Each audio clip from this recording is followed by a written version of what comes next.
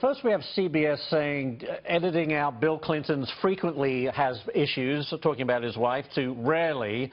And now we have this. I mean, Brent, at some point, you just really. These are news organizations. You're supposed to take them at face value, but it's difficult when they do this kind of stuff. They're 100% in the tank for Hillary Clinton. Uh, look how they attacked Donald Trump on the birther thing. Uh, it was the New York Times that brought up John McCain in 2008 and his birther situation. It was the media who brought up Ted Cruz. It was Sidney Blumenthal from the Hillary's Clinton that brought up Barack Obama, and yet they hit Ted Cruz, or they hit Donald Trump on it relentlessly. Look, every reporter was there on that airplane. Every reporter, every network heard her call it a bombing, and then one minute later take this gratuitous slap at Donald Trump, and yet no one reported it. All right. Now, Brent, listen to this question. This is a reporter asking Hillary during her Q&A this morning in White Plains. Concerned that this weekend's attacks or potential incidents in the coming weeks uh, might be an attempt by ISIS or ISIS sympathizers or really any other group, maybe the Russians, um, to influence the presidential race in some way uh, and presumably try to drive uh, votes to Donald Trump? Did Hillary write that question? How can you bring the Russians into this? I mean, that's a stretch at best, and it plays right into Hillary's, you know, uh, narrative that uh, Donald Trump is a puppet of Putin.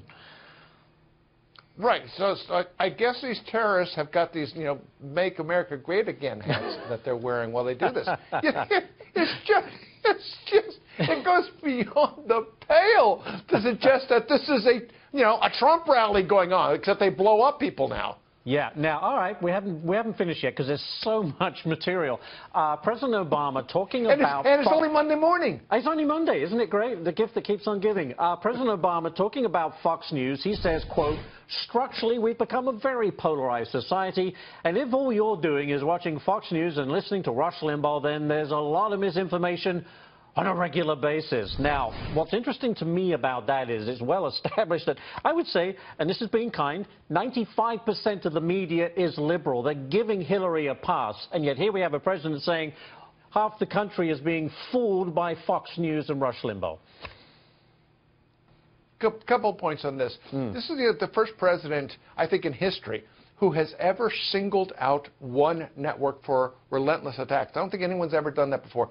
Secondly, why does he attack Fox? Because Fox is the only network that doesn't march lockstep with this administration and the candidate they're, they're, they're supporting. He cannot stand the fact that he cannot control the narrative at Fox News. Never, never mind Rush Limbaugh. It's a very, very good point, and I promise that we will not edit any of that to make it change its meaning. Brent Bozell, I'm very sarcastic today. Thank you so much, Brent. Appreciate it.